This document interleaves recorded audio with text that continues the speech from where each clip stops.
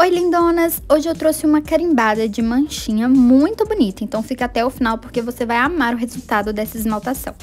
Eu já comecei passando o preto, que vai ser a cor principal da minha esmaltação. E esse que eu usei é o preto sépia da Risqué. E como eu sempre digo para vocês, em todas as camadas faça palitação, porque isso vai fazer muita diferença no acabamento final da sua esmaltação. Fiz a palitação e já vim com a segunda camada. Vocês podem observar que a cada camada que eu passei, eu já vim fazendo a palitação e é sempre isso que eu recomendo para vocês. E também já vim com a segunda camada do branquinho que eu usei, que é o Bianco Puríssimo, que também é da Risqué.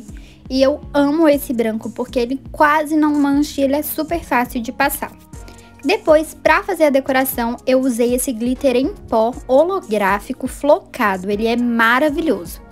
E para fazer a carimbada, eu usei a placa XG8 da Pipila. O desenho dela é bem grande, então se a sua unha for muito grande, vai dar super certo para você. E se for muito pequena, também vai dar super certo para você.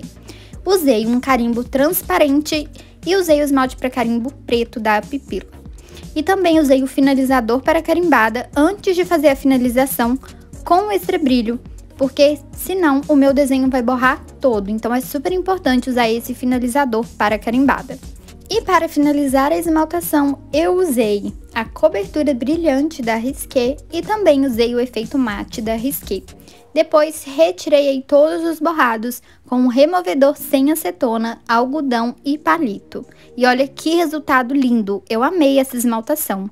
Vocês gostaram? Já me conta aqui nos comentários. Aproveita e se inscreve no canal para não perder nenhuma inspiração.